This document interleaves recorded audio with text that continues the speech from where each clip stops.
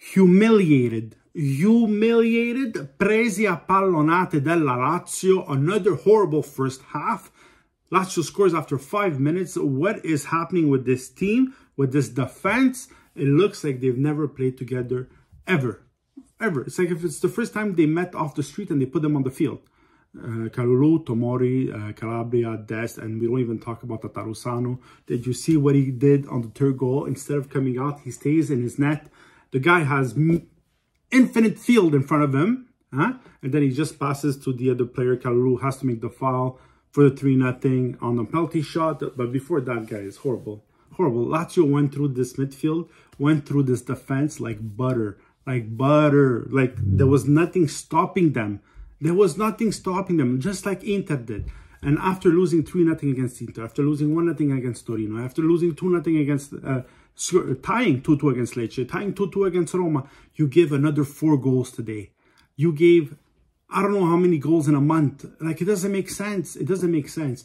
This defense, something has to give. It's not happening. Uh, and plus, Tomori gets injured. And then at the 93rd minute, Calabria gets injured, crying off the field. Uh, it looks like a bad injury as well. And so how many more stars do we need to lose? Like, it doesn't make sense. Mentally, you see, this team is tired. Mentally, it's not happening anymore. Giroud on the field is, where is he? We don't know. He said that the defeat of France still affected him. It shows. Leao comes off being substitute, head down, shaking his head. Where were you the entire game? Where were you the month of January? Lost in the clouds. Lost in the clouds, the entire team the entire team. Tonali as well. How many bad passes did he do today? How many challenges did he lose? Bennacer, uh, he knows he's one yellow card away from missing the Sassuolo game. He gets a foul called against him. He shoots the ball away, gets the yellow card, misses next game against Sassuolo. Like, and Pioli has no responses. Pioli has no responses because the players on the bench aren't up to par to everybody else. And when they come in, uh, they look lost. But the entire team looks lost. The entire team looks lost. They need a change. They need to bring somebody in, give them a, a change, a something. Like Adli doesn't play, get him out of there. Rebic doesn't play, get him out of there. Like get new players, get new players, do something.